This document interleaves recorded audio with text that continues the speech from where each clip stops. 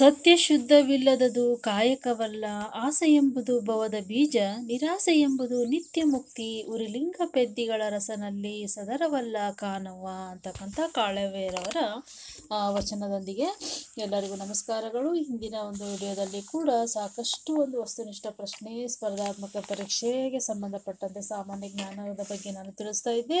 ಈಗಲೂ ಕೂಡ ಒಂದು ವಿಭಾಗವನ್ನು ನಾನು ಮುಂದುವರಿಸ್ತಾ ಇದ್ದೀನಿ ನೋಡ್ರಿ.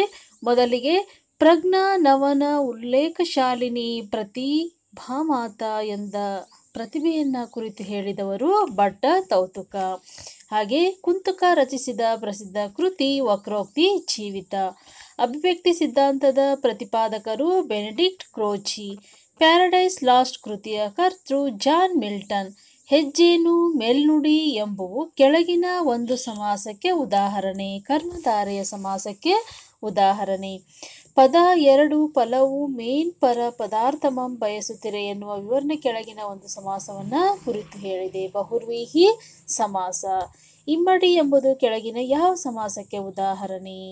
ಇಲ್ಲಿ ದ್ವಿಗು ಸಮಾಸ. ಎರಡು ಅಧಿಕ ಮಾಡಿ, ಇಮ್ಮಡಿ. ಸಂಖ್ಯಾವಾಚಕ ಐತಿ ನಾಮಪದ ಐತಿ ಹಾಗಾಗಿ ಇದನ್ನು ನಾವು ದ್ವಿಗು ಸಮಾಸ ಅಂತೇಳಿ ಫೈಂಡ್ ಔಟ್ ಮಾಡಬೇಕು.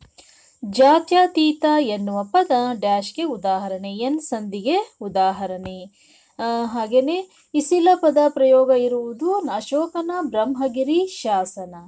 ದಿನಾರ್ ಶಬ್ದ ಯಾವ ಭಾಷೆಯಿಂದ ಬಂದದ್ದು? ಗ್ರೀಕ್ ಭಾಷೆಯಿಂದ ಬಂದಂತಹ ಪದ. ತಾರಸಿ ಶಬ್ದದ ಮೂಲ ಇಂಗ್ಲಿಷ್. ಕನ್ನಡ ಜನರ ಬಗ್ಗೆ ಉಲ್ಲೇಖವಿರುವ ಪ್ರಾಚೀನ ತಮಿಳು ಕೃತಿ ತೊಲ್ಕಾಪಿಯಂ.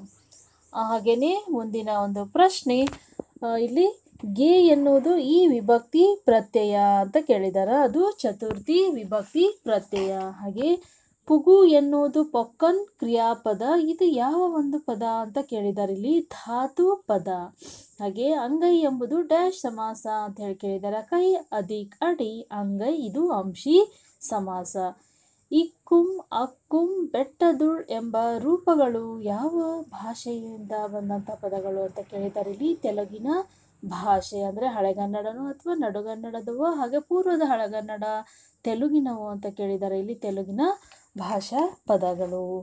ಹಾಗೇನೆ ಕೆಳಗಿನವುಗಳಲ್ಲಿ ಯಾವುದು ವ್ಯಂಜಕ ಸಮಾಗಿಯಲ್ಲ ಅಂತ ಕೇಳಿದ್ದಾರೆ ಇಲ್ಲಿ ಪ್ರಬಂಧ, ವಾಕ್ಯ, ಶಬ್ದ, ರಸಧ್ವನಿ. ಕೆಳಗೆ ಕೊಟ್ಟಿರುವ ರಸಗಳ ಅನುಕ್ರಮಣೆಯನ್ನು ಸರಿಯಾದ ರೀತಿಯಲ್ಲಿ ಬರೀರಿ ಅಂತ ಹೇಳಿದಾರ. ಸ, ಒಟ್ಟು ರಸಗಳು ನವರಸಗಳನ್ನು ನಾವು ಮೊದಲಿಂದ ಹೀಗೆ ಅದನ್ನು ಕ್ರಮವಾಗಿ ಜೋಡಿಸ್ತಾ ಹೋಗ್ತೀವಿ ನೋಡ್ರಿ. ಶೃಂಗಾರ, ಹಾಸ್ಯ, ಕರುಣ, ರೌದ್ರ, ವೀರ, ಭಯ, ಬೀಭತ್ಸ, ಅದ್ಭುತ, ಒಟ್ಟು ಒಂಬತ್ತು ನವ ರಸಗಳು ಇಲ್ಲಿ ಶಾಂತ ಒಂದು ಸೇರಿಸಿಲ್ಲ ಅನಿಸುತ್ತೆ. ಹಾಗಾಗಿ ಶಾಂತ ಸೇರಿದರೆ ಒಟ್ಟು ಒಂಬತ್ತು ನವರಸಗಳು. ಕೆಳಗಿನವರಲ್ಲಿ ರಸಾಸ್ವಾದ ಉಂಟಾಗುವುದು ಯಾರಿಗೆ ಅಂತ ಹೇಳಿದ ನೋಡ್ರಿ. ಕಥಾಪುರುಷ ನಟನಟಿಯರು, ಕವಿ, ಸಾಮಾಜಿಕ. ಸಾಮಾಜಿಕ ಇದು ಸರಿಯಾದ ಉತ್ತರ. ಮುಂದಿನ ಪ್ರಶ್ನೆ, ದಂಡಿ ಹೇಳಿರುವ ಕಾವ್ಯ ಮಾರ್ಗಗಳು ಕೆಳಗಿನ ಯಾವುವು ಮಾತ್ರ ಅಂತ ಕೇಳಿದಾರ? ವೈದರ್ಭಿ ಮತ್ತು ಗೌಡಿ, ಇದು ಸರಿಯಾದ ಉತ್ತರ. ಇಲ್ಲಿ ರಸಗಳನ್ನು ಸರಿಯಾಗಿ ಹೊಂದಿಸಿ ಬರೀರಿ ಅಂತ ಕೇಳಿದ ನೋಡ್ರಿ. ಶಾಂತ, ನಿರ್ವೇದ, ವೀರ, ಉತ್ಸಾಹ ವಿಸ್ಮಯ, ಅದ್ಭುತ ಹಾಗೆಯೇ ಶೃಂಗಾರ, ರತಿ. ಅರ್ಥ ಆಯ್ತಾ? ಮುಂದಿನ ಒಂದು ಪ್ರಶ್ನೆ. ಎಳೆ ವಾಸೆ ತೊಡರ್ದುದನೆ ಮಿಸುಪೆಳೆ ವಾಸೆಯ ದೆಸೆಯ ನಿಂದಳಂ ಕೈ ಮೇಲಿನ ಪದ್ಯದಲ್ಲಿ ಕಂಡುಬರುವ ಅಲಂಕಾರ ಅಂತ ಕೇಳಿದ್ದಾರೆ ಇಲ್ಲಿ. ಇದನ್ನು ನಾವು ಯಮಕ ಅಲಂಕಾರ ಅಂತೇಳಿ ಕಂಡುಹಿಡ್ಕೋಬೇಕಾಗ್ತದೆ ನೋಡ್ರಿ. ಈಗಾಗಲೇ ನಾನು ಯಮಕ, ಚಿತ್ರಕವಿತ್ವ ಇದ್ರ ಬಗ್ಗೆ ವಿವರವಾಗಿ ತಿಳಿಸಿದ್ದೆ. ಆ ವಿಡಿಯೋನು ಕೂಡ ನೀವು ತೆಗೆದು ನೋಡ್ಬೋದು. ಪ್ರಸ್ತುತ ಮತ್ತು ಅಪ್ರಸ್ತುತ ವಸ್ತುಗಳಲ್ಲಿ ಒಂದೇ ಧರ್ಮವಿದೆ ಎಂದು ವರ್ಣಿಸಿದರೆ ಅದು ಡ್ಯಾಶ್, ದೀಪಕ ಅಲಂಕಾರ. ಇದು ಸರಿಯಾದ ಉತ್ತರ.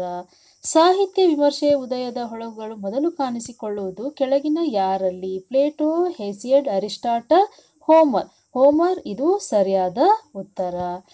ಜಲನಿಧಿ ಜಲಮಾ ಜಲ ಬೃತ್ಕುಲನಲಿದಿತ್ತು ದತ್ತ ಮಿತ್ತ ನಿರ್ಮಲ ಸಲಿಲಂ ದೊರೆದುದು. ಗಡನೆಲದೊಳು ಕೊಟ್ಟಂಗೆ ಬಡತನಂ ಬಂದು ಪದೇ. ಮೇಲಿನ ಪದ್ಯದಲ್ಲಿ ಕಾಣುವ ಒಂದು ಅಲಂಕಾರ ಯಾವುದು ಅಂತ ಕೇಳಿದ್ದಾರೆ ಇದನ್ನು ಕೂಡ ನಾನು ಹೇಳಿದ್ದೆ. ಅರ್ಥಾಂತರ ನ್ಯಾಸ ಅಲಂಕಾರದಲ್ಲಿ ಈ ಉದಾಹರಣೆ ಬಗ್ಗೆ ನಾವು, ನಾನು ವಿವರವಾಗಿ ತಿಳಿಸಿದ್ದೇನೆ. ಅದನ್ನು ಕೂಡ ನೀವು ತೆಗೆದು ನೋಡ್ಬೋದು. ವಿಡಿಯೋ ಎಲ್ಲರಿಗೂ ಇಷ್ಟ ಆಗಿದೆ ಅಂತ ಹೇಳಿ ಭಾವಿಸಿದ್ದೇನೆ. ಎಲ್ಲರಿಗೂ ಧನ್ಯವಾದಗಳು.